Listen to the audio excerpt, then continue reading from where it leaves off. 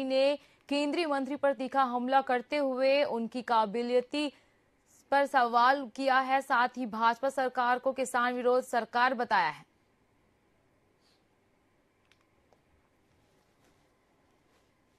ये उस कैबिनेट के मंत्री रहे हैं, जिसने किसानों के खिलाफ बिल पास किया था, जो काला कानून किसानों के लिए बनाया था। ये उस कैबिनेट के सदस्य थे। उस समय इनकी आवाज़ नहीं निकली किसानों के हक में। और मैं बधाई देता हूँ, मुझे गर्व है हमारे किसानों के ऊपर, जिन्होंने एक लंबी लड़ाई लड़ी, धरना प्रदर्शन किया, और आखिरकार सरकार, केंद्र सरकार को झुकना पड़ा और वो काला कानून वापस लेना पड़ा।